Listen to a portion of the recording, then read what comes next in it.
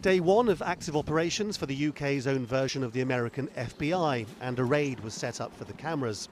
Admittedly, it was a bit slow going. For a time, they couldn't get through the gates to the house. But eventually they did, National Crime Agency, open the door. knocked on the door and got in, and out came a man in handcuffs suspected of organised identity theft. What was most striking about it was the sheer ordinariness of the street.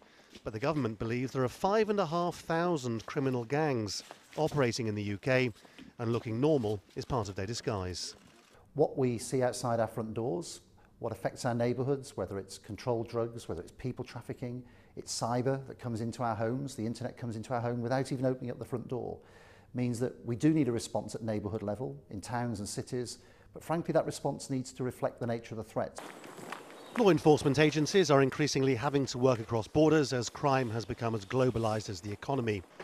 Here, some people from Eastern Europe are arrested over allegations they were running a people trafficking ring from a flat somewhere in London.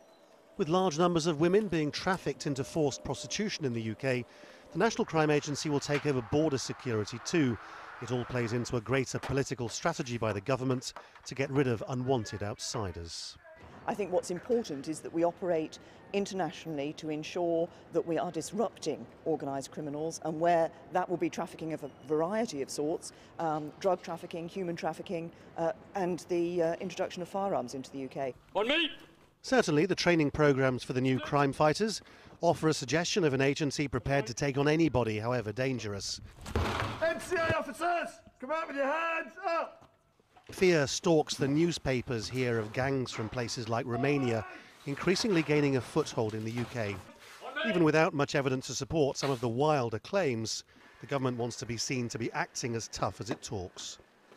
Lawrence Lee, Al Jazeera, London.